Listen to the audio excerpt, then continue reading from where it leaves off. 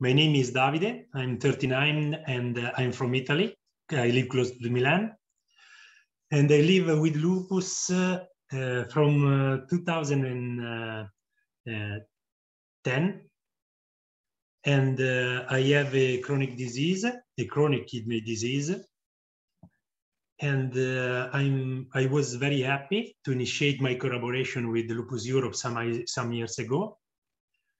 And uh, I took part in several projects, uh, and some of them were specifically related with research, and in particular psychological, psychosocial research, as uh, my job is I am a psychologist and I work as a researcher. So uh, my contribution was specifically focused in this area. For example, recently I had the opportunity to collaborate uh, in the analysis uh, of the data that Lupus Europe collected through a survey, uh, which uh, was able to recruit more than 4,000 individuals and uh, um, participants. Uh, we had a lot of work to, a lot of material to analyze, but at the end we were able to co-author. I mean that I was one of the co-authors together with other people from Lupus Europe and also Professor Marta Mosca.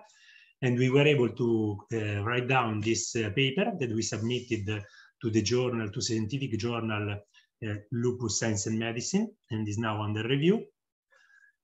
In general, uh, the collaboration with Lupus, uh, uh, with Lupus Europe, gave to me many different positive and benefits.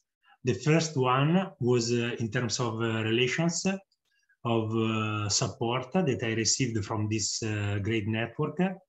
And uh, the second one was a bit less than expected, but at the end, all the work that I did with Lupus Europe helped me in, in improving my skills and uh, also in my careers in the way it was more possible to understand the life and experiences of patients. And now this point is very, very useful in my work, in my job.